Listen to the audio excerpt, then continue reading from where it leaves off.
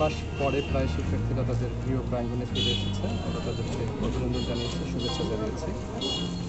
আমাদের বিশ্ববিদ্যালয়ে হলগুলো বন্ধ থাকলেও আমাদের ক্লাস এবং পরীক্ষাগুলো অনলাইনে চলেছে।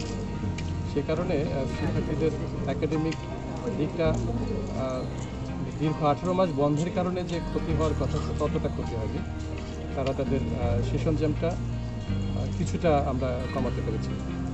এবং আজকে তারা অত্যন্ত আনন্দমুখর পরিবেশে তাদের প্রাণের ক্যাম্পাসে ফিরেছে প্রিয় ক্যাম্পাসে ফিরেছে। আমরা তাদেরকে বরণ করেছি ফুল দিয়ে এবং আপনারা খেয়াল করে দেখলে দেখবেন যে প্রত্যেকটা হলের সামনে আমরা বেসিন বসিয়েছি।